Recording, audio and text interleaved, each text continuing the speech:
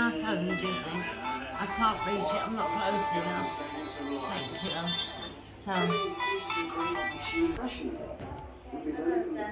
Business.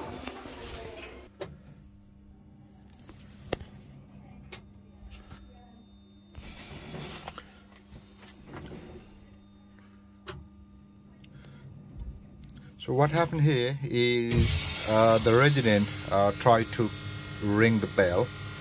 So the bell is off, but it is not addressed on a panel, address panel.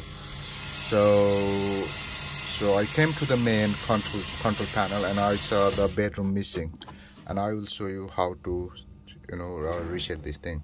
So the first thing is just uh, put the code you have so you'll see the screen like this and then scroll it down.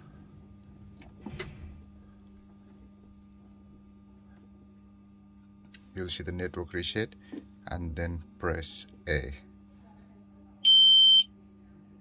And you will hear the beep sound and to exit just press E.